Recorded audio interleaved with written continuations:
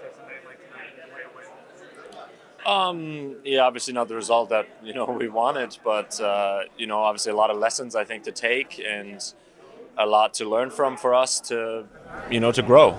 I think there's a ton of stuff that we can we can look at and we can uh, we can go over with on film, but obviously it starts with us having a good start to the game. You know, you can't be down 3 0 with 12 minutes into the game. I think that's what it was. And, um, you know, those are lessons that you learn in preseason.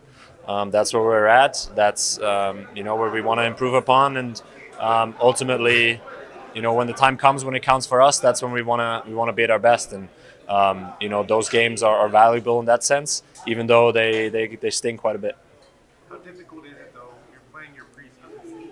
It doesn't feel like a preseason game. The expectations around this is not, you know, preseason result. Uh, how do you kind of balance that thought process in your mind of it's still preseason, even when you're under the lights and the pressure like this?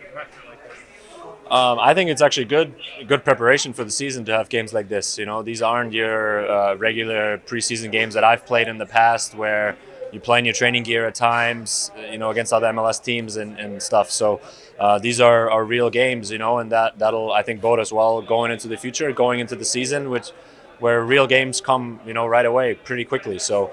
Um, yeah, it's obviously a balance, like you said, but we're, we're trying to um, to grow, uh, to come together as a team, and, and find a way um, to to beat good teams like the team we played today, um, and eventually when you know when the time comes later in the season, and, and you know when when we have those games coming up, when they really count, then hopefully we'll be ready. Team is, is down by five. What's the proudest thing uh, Sheffield has got to say?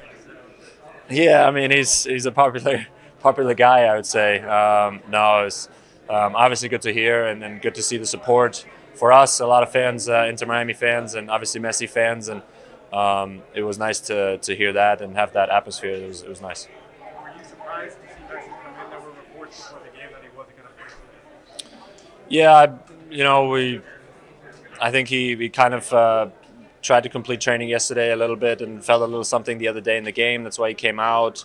Um, but then today he felt like he could play, and you know that's kind of the all I really know. So um, you know we're I think it's obviously still preseason for us, so we don't really want to want to risk any anything more. Um, so um, yeah, that's really all I know. Did the coach stay calm in the?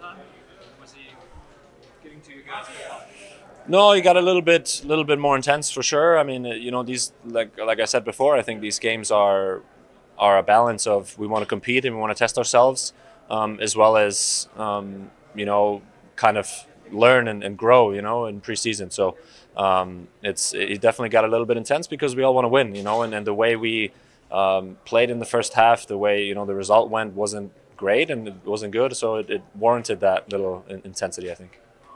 What do think people will say? What would you say to the people who say this is an indictment on MLS or a sign of how far MLS might be behind the Saudi league or? Do you think that's fair?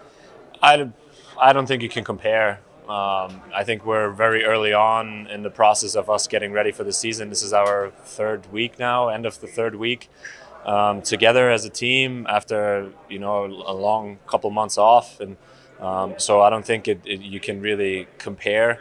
Um, you know, I think we would we would obviously love to have a rematch at some point. I think that's a competitor in me, you know, and, and kind of at, a, at a, maybe an official competition, and hopefully we can we can have that at a Club World Cup, for example. I think that's the only way that we could ever really um, really do that, and um, hopefully we get to represent MLS at that at that level. And but again, you know, those are good teams that we play. We knew that coming in. Good tests, um, good preseason games that will will get us ready for the year, and, and we'll we have a lot to learn from.